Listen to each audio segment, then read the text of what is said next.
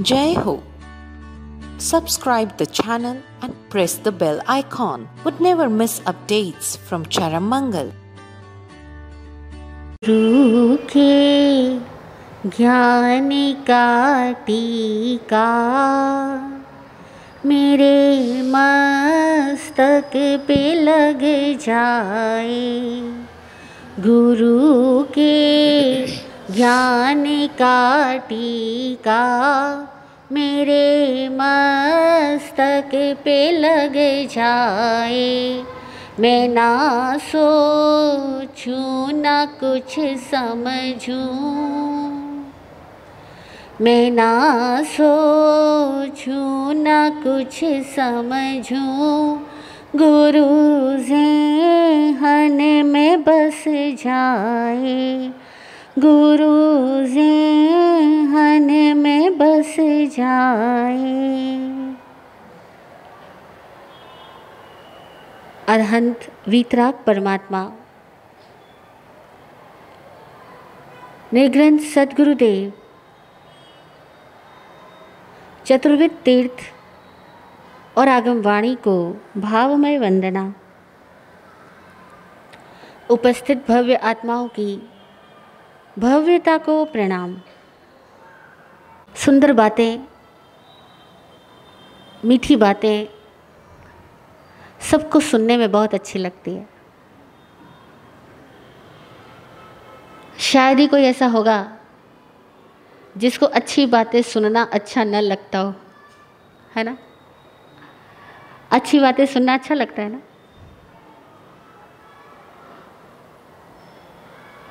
लेकिन अच्छी बातें सुनने के साथ ही मन में क्या भाव पैदा होते क्या भाव पैदा होते उन अच्छी बातों के प्रति मन में क्या भावना पैदा होती है? हुँ?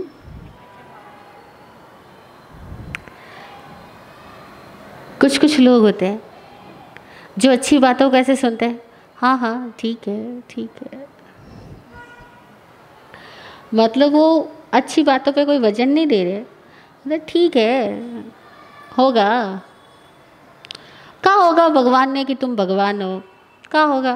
मतलब बहुत दूर की बात है, हमारे लेवल की बात नहीं है। अथवा, अभी कैसे मान सकते हैं ना? तो अनादर तो नहीं कर सकते। तो कहेंगे अच्छा अच्छा ऐसा भी होता है क्या? ओके, देखेंगे। अच्छी बातें सुन के मन में कभी कभी तो एकदम ऐसा लगता है, बहुत दूर की बात है। कभी लगता है, चलो कभी हो जाए तो अच्छा ही है ना।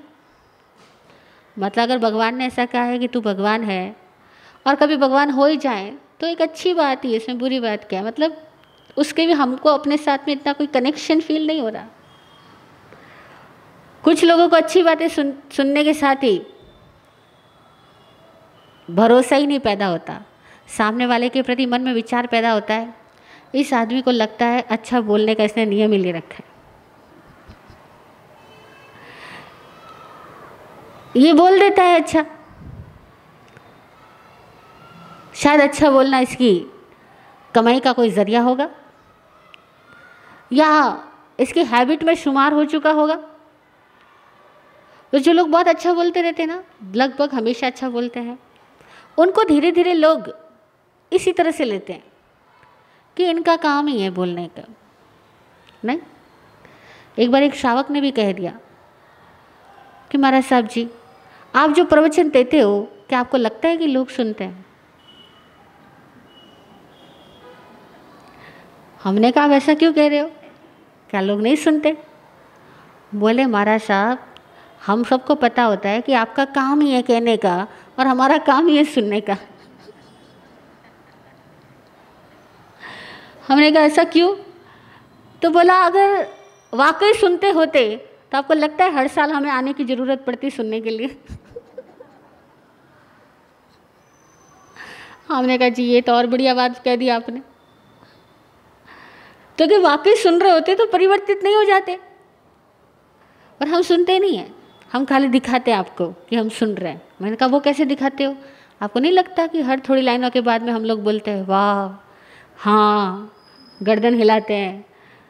तो मैंने कहा हाँ गर्दन तो हिलती है। आप देख देखना हमारा सब, कई बार आदमी सुन भी नहीं रहा होता है, ध्यान भी मन में कहीं और होता है, फिर भी वो गर्दन हिला देता है। सामने वाले को केवल ये महसूस कराने के लिए कि हम तुम्हारी बातों को सुन रहे हैं। फिर कब सुनता है आदमी? कब सुनता है आदमी? हाँ जब कोई व्यक्ति एक ट्रैक पे चलता चलता अचानक ट्रैक छोड़ देना और फिर बोले मतलब मीठा बोलने वाला कड़वा बोले तो सुनता है। प्यार करने वाला गाली बोले तो आदमी जागता है तो सुनता है। तारीफ़ करने वाला अचानक निंदा करने लग जाए तो आदमी कान देता है, अरे, क्या हो गया इसको? कल तक तो अपना था, तारीफ़ कर रहा था, आज ऐसे कैसे बोल रहा है? मतलब जहाँ हमारी हैबिट को ब्रेक मिलता है, वही आदमी थोड़ा जागता है। इसीलिए वो लोग रोड पर डिवाइडर और बनाने के साथ साथ वो स्पीड ब्रेकर भी बनाते हैं। कि ज़रा स्पीड ब्रेकर नहीं बनाया तो ये लोग तो नींद में गाड़ियाँ चला लेंगे। तो स्पीड ब्रेकर बनाते हैं कि अगर ध्यान दें स्पीड को कम करें, नहीं तो फिर उछलेगी गाड़ी। जब उछलेगी तो होश तो आएगा, अरे भैया, गाड़ी चला रहा हूँ। लाइफ में भी ऐसा ही है। हम जिनके साथ रहते हैं, जिनके साथ बतियाते हैं, जिनकी बातें सुनते हैं, जिनको बातें करते हैं, तब तक हम नॉर्मल रहते हैं। जब तक कोई स्पीड ब्रेकर नहीं आता, हम सब लोगों को टेकन फॉर ग्रांटेड लेते रहते हैं। सब लोगों को टेकन फॉर ग्रांटेड लेते हैं। पापा का काम है बोलने का, मम्मी का काम है गुस्सा करने का, डांटने का वाइफ का काम है सुबह से शाम कुछ ना कुछ, चालू ही रहता है उसका।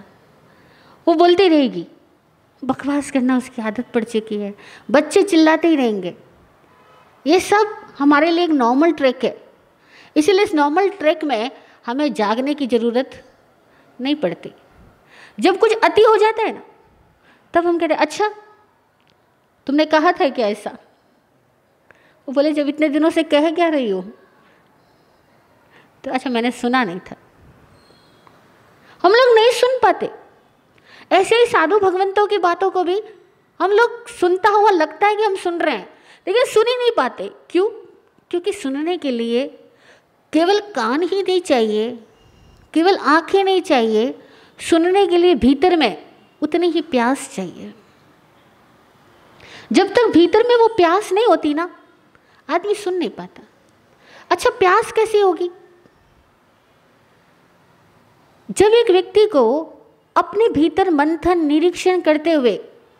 ये महसूस होता होगा कि यार मैं जहाँ हूँ, जिस तरीके से हूँ, उस तरीके में मुझे बदलाव की और सुधार की ज़रूरत है।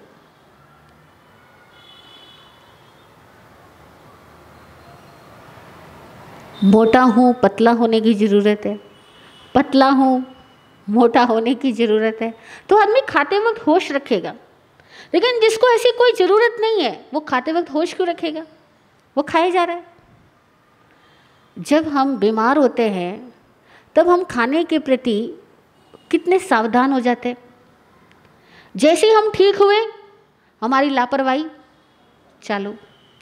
जब हमारे शरीर में कमज़ोरी आ जाए और हमारे मुँह से शब्द भी निकलना मुश्किल हो जाए, बोलने में बहुत ज़ोर पड़ने लगे, उस समय बोलने के संबंध में हम कितने सावधान होते हैं? हमें लगता है कि यार, इतनी लंबी बात को मैं अब बोल नहीं सकूँगा तो मैं उस बात को कम से कम शब्दों में कैसे कह दूँ? लगता है ना? और कई बार जब हमसे बोला ही नहीं जा रहा होता है, तब हम शब्दों की बजाय संकेतों से ही अपनी बात कह डालते कहते क्योंकि हमें लग रहा है कि बोलने में बहुत शक्ति जाती है और वो शक्ति इस टाइम मेरे पास में नहीं है। तो हम बोलते समय कितने केयरफुल होते, नहीं? और जब कभी हम अपने भीतर कुछ निर्णय लेने वाले हो, उस समय में हम चारों ओर के वातावरण में क्या शकुन, क्या अपशकुन हो रहा है, इस संबंध में कितने सजग हो जाते? ऐसे हम बिल्कुल सावधान नहीं रहते। कि वातावरण कैसा है, माहौल कैसा है, घटनाएँ कैसी है, निमित्त कैसे है, कौन आ रहा है, कौन जा रहा है, कौन किस दिशा से आ जा रहा है, कौन क्या कर रहा है, कौन क्या बोल रहा है, तब हमें कुछ पता नहीं है। लेकिन जिस दिन आज कुछ विशिष्ट कार्य करने जाना है तो हम कहेंगे यार तुम्हारा मूड सही होना चाहिए। अपने साथी को बोलेंगे, आपका मूड सही हो। अपने घर वालों को हम प्रणाम भी कर लेंगे। आज प्रणाम क्यों कर रहे हो? आज टेंडर खुलने वाला है। तो प्रणाम भी कर लोगे। आज ओपनिंग है किसी दुकान की तो प्रणाम भी कर लोगे। अच्छा फिर इसी टाइम क्यों एकदम प्रणाम विशिष्ट क्यों हो गया ये प्रणाम? क्योंकि आज फील हो रहा है कि अभी इस समय इन सब लोगों के आशीर्वाद और दुआओं की ज़रूरत है है ना? जब भीतर में ज़रूरत महसूस होती है तो बाहर की चीज़ में महत्व स्थापित हो जाता है। जब तक भीतर में ज़रूरत ही महसूस नहीं होती, तब तक बाहर की चीज़ें हम कितने भी सुन लें। हमें लगेगा हम सुन रहे हैं, सुन रहे हैं, सुन रहे हैं। और भीतर में जिसकी ज़रूरत महसूस हो रही है ना, हमारे प्राण, हमारे विचार, हमारी भावनाएँ उसी दिशा में गति कर रही है। वो वही वही अटकी हुई है। ये ठीक ऐसे ही होता है जैसे हमारे आ, मुख के अंदर बत्तीस दांत में से अगर कोई एक आध दांत किसी दिन टूट जाए गिर जाए तो रह रह करके जीव वहीं जाती है। नहीं जाती? पेट में दर्द हो जाए तो रह रह करके ध्यान पेट पर ही जाता है। अन्यथा कभी ख्याल नहीं आएगा लेकिन जब दर्द हो रहा है तो ख्याल आएगा। अनुभवी लोग कहते हैं कि संसार में दुखों की रचना और दुखों का महत्व भी इसीलिए। दुखों का महत्व भी इसीलिए है कि कभी दुख आता है तो आदमी को ख्याल आता है कि मैं कैसे चल रहा था जो दुख आया। नहीं तो ख्याल भी ना आएगा कि दुख क्यों आया। नहीं तो वो होश से भी ना भरेगा कि मेरी चाल सही है या नहीं है। मेरी निर्णय सही है या नहीं है? मैं जो बोल रहा हूँ वो सही है या नहीं है? लेकिन जैसे ही जब सामने वाला गुस्सा करता है ना, और गुस्से में बोलता है, तब हमें ख्याल आता है अच्छा मैंने ऐसा क्या बोल दिया कि इसको गुस्सा आया? तो आदमी अपने बोले गए शब्दों को शायद ध्यान से सुने कि मैंने ऐसे क्या बोल दिया जिससे इस व्यक्ति को गुस्सा फील हुआ। मैंने ऐसा क्या बोल दिया कि सामने वाला दुखी हो गया? तभी ख्याल आता है कि नहीं आता? या तब भी नहीं आता? जिस व्यक्ति को तब भी ख्याल नहीं आता कि उसके साथी उससे रूठ गया या गुस्सा कर दिया या उसका साथी ने खाना आज छोड़ दिया या आज वो नाराज़ हो गया, तब भी उसको ख्याल नहीं आया कि मेरी चाल में गलती कहाँ हुई? ऐसा व्यक्ति अपने हृदय चक्र की विशुद्धि नहीं कर पाएगा। भावनाओं की विशुद्धि नहीं कर पाएगा। क्योंकि वो ख्याल ही नहीं जगा पा रहा है। लेकिन जिस व्यक्ति को ख्याल जगने लग गया कि बीमारी आई तो कारण क्या? रिश्ता खराब हुआ तो कारण क्या? सामने वाले को गुस्सा आया तो मैंने भीतर कारण क्या? आज मैं गाड़ी का एक्सीडेंट कर बैठा तो मेरा दिमाग कहाँ था? इस इंटरव्यू में मैं फेल हो गया तो मेरी सोच में कमी कहाँ थी? इतनी मेहनत करके भी काम पूरा नहीं हुआ तो मेरी मेहनत की प्रक्रिया में गलती कहाँ रह गई? और इतने प्रवचन सुन के भी आत्मज्ञान नहीं हुआ आत्म साक्षात्कार नहीं हुआ तो इसका मतलब है प्रवचन सुनने की प्रक्रिया में गलती कहाँ रह गई? कभी सोच आई?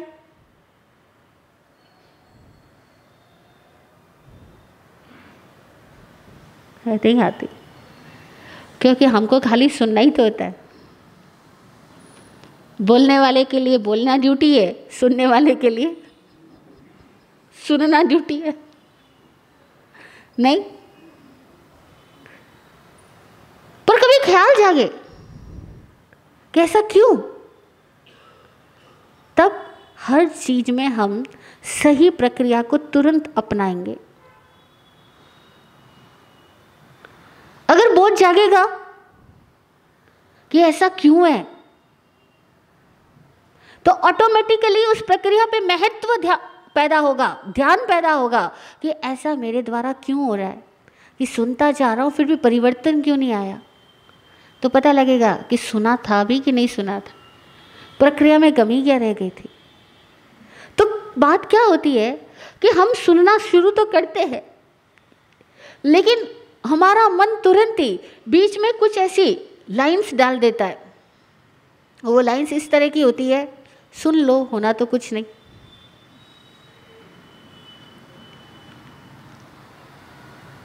मेरे साथ तो मुश्किल ही है।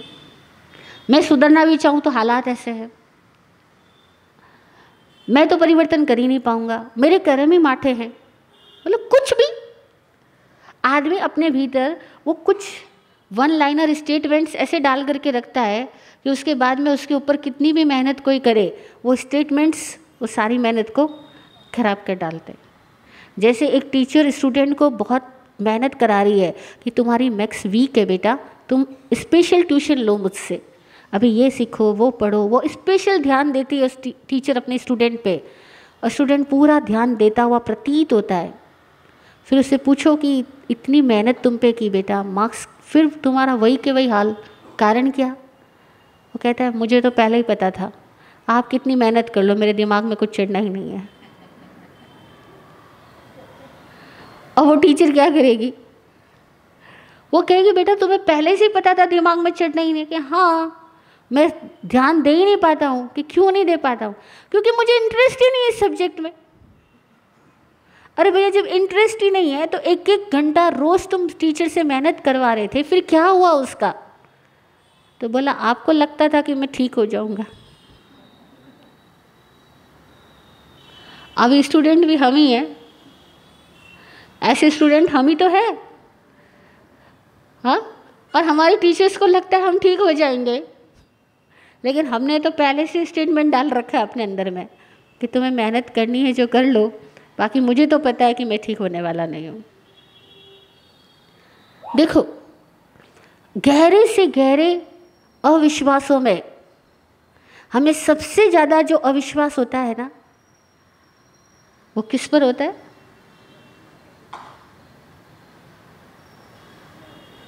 किस पर? सबसे बड़ा अविश्वास हमें अपने आप पर होता है। और यही अविश्वास हमारी भावनाओं को तरल नहीं होने देता, सरल नहीं होने देता। हमारी सोच और भाव को जटिल ही बनाए रखता है। यह अविश्वास है खुद पर। और वन लाइनर स्टेटमेंट सबके भीतर कुछ अलग अलग होंगे। सबने अपने भीतर कोई ना कोई स्टेटमेंट डाल रखा होगा। जैसे कि कई महिलाओं को हमने सुना वे कहती है, इस घर में तो हम कभी सुखी हो ही नहीं सकते। अथवा इस आदमी के साथ तो मेरी कभी बनी नहीं सकती। अथवा ये लोग मुझे देख करके कभी खुश होंगे ही नहीं।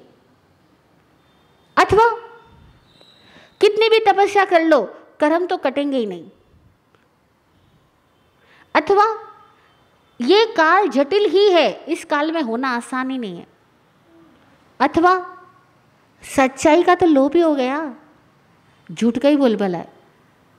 मतलब इस टाइप के कुछ वन लाइनिंग स्टेटमेंट्स हम में से अधिकांश लोगों के भीतर बहुत गहराई तक व्याप्त है और वो स्टेटमेंट हमारे भावों को अवरुद्ध कर देते हमारे भावों को रोक देते भावों को तरल, सरल, प्रवाहित ही नहीं होने देते, क्योंकि उन स्टेटमेंट्स ने, धारणाओं ने हमारी भावनाओं के ऊपर चट्टान की तरह काम कर दिया।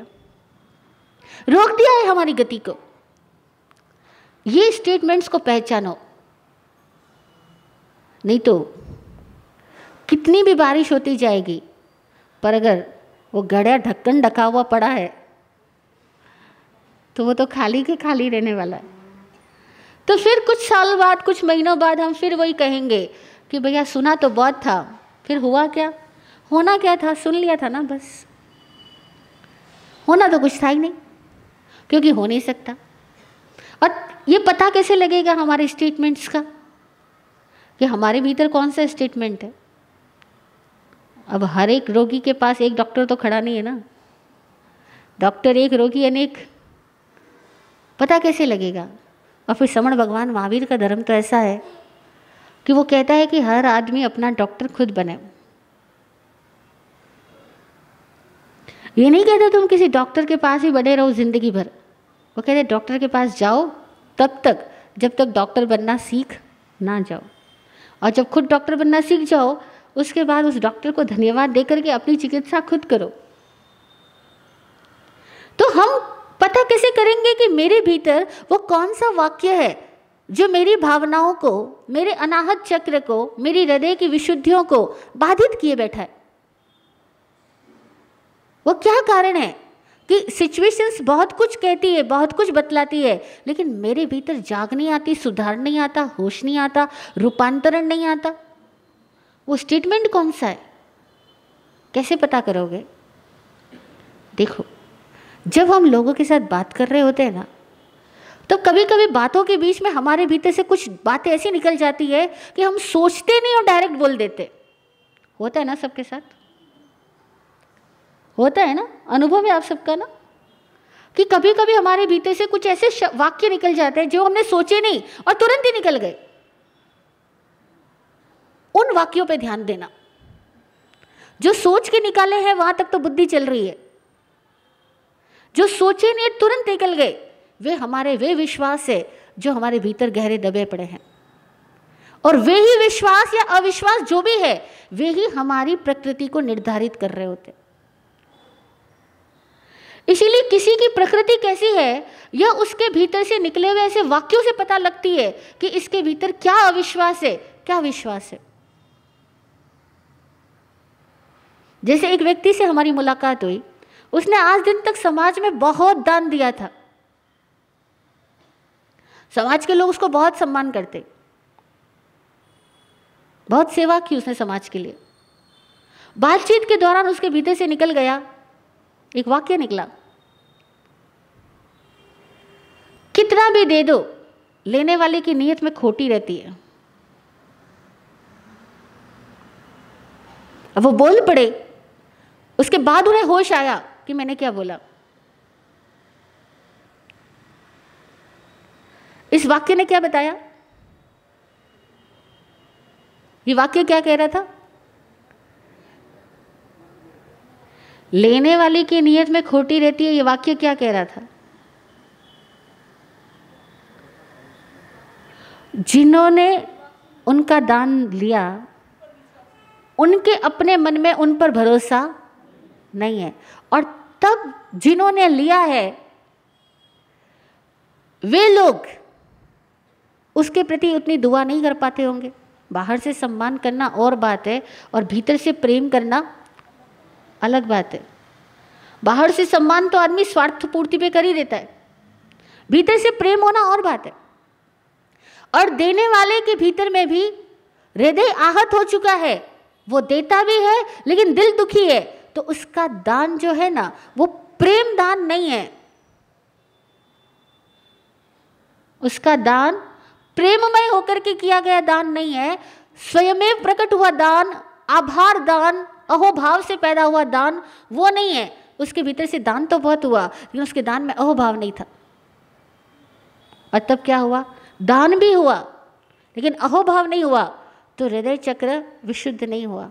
और तब क्या होगा? भीतर का दुख, वो दुख था ना, कि लेने वाले को, लेने वाले की नीयत अच्छी नहीं होती। वो जो भीतर में उनके अविश्वास है वो जो पुराना कोई अनुभव रहा होगा, जिसकी वजह से उनके भीतर में ऐसी सोच पैदा हुई है, वो सोच, वो दुख लाती है और वो दुख की वजह से क्या होता है कि आदमी दानमय होते हुए भी, दान करते हुए भी धर्ममय नहीं हो पाता।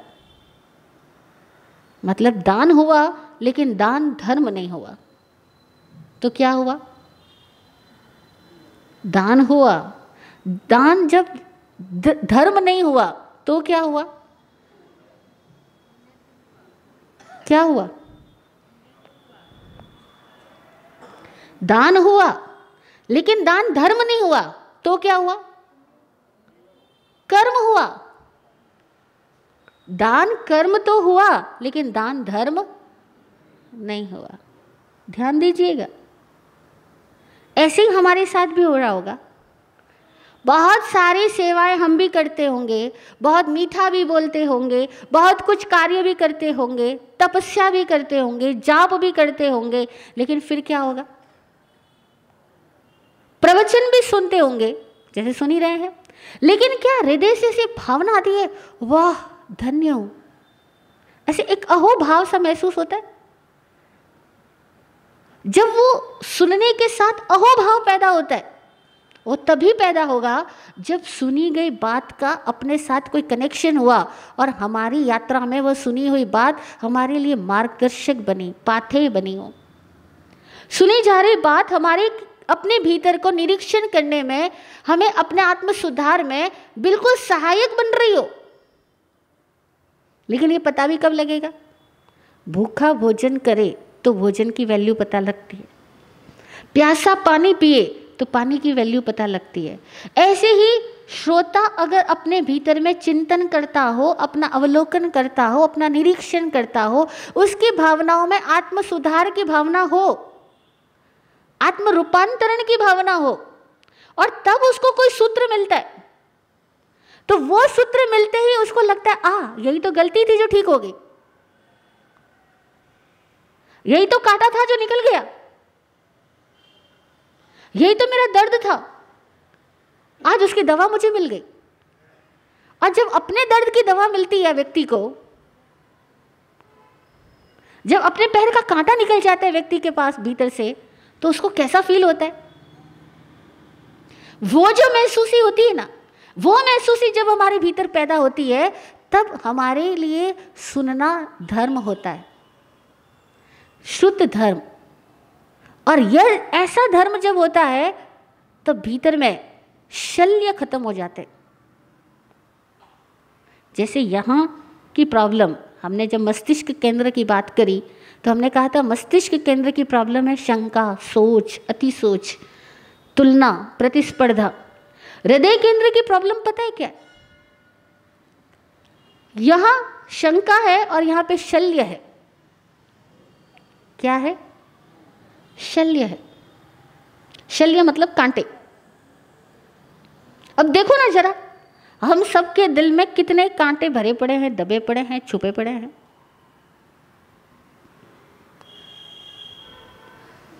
कांटे जब दबे होते हैं तो वो कैसी महसूसी देते हैं? दर्द देते हैं ना, सालते हैं ना, और तब पैर भी रखो तो पैर संतुलित तरीके से पैर चलता नहीं, गति नहीं कर पाता संतुलित। हर चाल के साथ में फूक फूक के चलता है आदमी सोच सोच के संभल संभल के चलता है। अरे, चल तो रहा हो, बस ये पैर टिक जाए। ठीक ऐसे ही हमारे दिल में जब शल्य भरे होते हैं तो हम जिनसे भी मुलाकात करते हैं, हमारे दिल के अंदर शंकाएँ मौजूद रहती है। दूरियाँ बनी रहती है। द्वंद्व बने रहते हैं। शल्य होने की वजह से हमारा प्रत्येक व्यवहार वाणी तक भी कर्म बनती है, धर्म नहीं बनती। अन्यथा कर्म ही धर्म हो जाता, अगर कर्म में से शल्य निकल जाता। अगर क्रियाओं में से शल्य निकल जाए तो ये क्रिया ही धार्मिक क्रिया हो जाए, चाहे वो कोई भी क्रिया क्यों ना हो। लेकिन शल्य जो हृदय में दबा है, वो निकल नहीं पा रहा। क्यों नहीं? क्योंकि अभी जो कुछ हमें समाधान मिल रहा, जो कुछ उपचार मिल रहा, जो कुछ निमित्त मिल रहा, जो कोई व्यवहार मिल रहा, उसके प्रति हमारे हृदय के अंदर भावना क्या आती है? या तो हम उसको इग्नोर कर रहे हैं टेकन फॉर ग्रांटेड ले रहे हैं, या कदाचित हम थैंक यू बोल भी रहे हैं ना तो वो थैंक यू भी बड़ा ऊपरी तौर पे बोल रहे हैं। दिमाग से थैंक यू बोल जाते हैं, दिल से जो थैंक यू निकलता है, वो एक अलग चीज़ होती है। सूत्रकारों ने दिल से निकले थैंक यू को अहो भाव बोला है। जो हृदय से थैंक यू निकलता है, उसी को सूत्र में कहते हैं अहो भाव अहो अहो अहो अहो दानम, अहो भक्ति, अहो तप, अहो श्रवण। सुनते हुए मुझे कैसा अनुभव हुआ? अहो। वो जो अहो का अनुभव आता है ना, वो हृदय चक्र की शुद्धि कर देता है। अब ये अहो का अनुभव कब कब आ सकता है और कैसे कैसे आ सकता है? देखो ना जरा। चलो, ये विषय आप पर छोड़ देते। अपने अपने ज़िंदगी में सोचना कि ये अहो का अनुभव आपको कब कब आता है कैसे कैसे आता है? बहुत बार आता है या कभी कभार आता है? आता भी है या नहीं आता है? नहीं आता है तो कारण की ओर जब आता है तो भीतर में क्या अवस्था होती है? जरा विषय पे चिंतन करेंगे आप लोग। हाँ? कर पाएँगे? कि कब जीवन में अहो का अनुभव होता है? कब नहीं होता। है वो हमारे अहो अनुभव को, अहो भाव को कौन बाधित कर देता है? देखो, ये अहो भाव जब तक नहीं आता, अनाहत चक्र, हृदय चक्र, भावनाएँ जब तक विशुद्ध नहीं होती, तब तक धार्मिकता हमारा सहज स्वभाव नहीं होती। धर्म क्रिया होती है, धर्म ध्यान नहीं होता। हम धर्ममय नहीं होते और ये कारण है कि हमारी जड़ों में रस नहीं है। पत्ते हरे करने की कोशिश तो हर कोई कर रहा है, लेकिन जड़ों में रस नहीं है। और जब पत्ते मात्र हरे किए जाए और जड़ों में रस ना हो तो क्या स्थिति पैदा होती है? क्या स्थिति पैदा होती है? वो पुराने लोग कहते थे ना, हुआ संवत्सरी का पारना, छूटा साधु जी का वारना मतलब तब हम आर्टिफिशियल धार्मिक होते हैं। आठ दिन के हो गए, दो महीने के हो गए, डेढ़ महीने के हो गए, ये आर्टिफिशियल हो जाते हैं हम। क्योंकि हमारे जड़ों में रस नहीं आता। और जब जड़ों में रस हो ना, उसके बाद कोई फ़र्क नहीं पड़ता। सावन क्या, भादवा क्या कार्तिक क्या असोच क्या, और कोई भी महीना क्या, कोई भी दिन क्या, कोई भी घड़ी क्या। फिर धर्म केवल क्रिया नहीं होती, वो हमारा अपना होनापन होता है।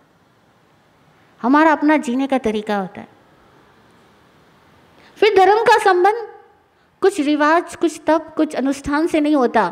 धर्म का संबंध हमारे प्राणों से, हमारे अवस्थाओं से होता है। देखो, क्या पसंद है? केवल अनुष्ठानिक बनना या आत्मिक बनना? अगर आत्मिक होना पसंद है तो भीतर से शल्य मुक्त होना होगा।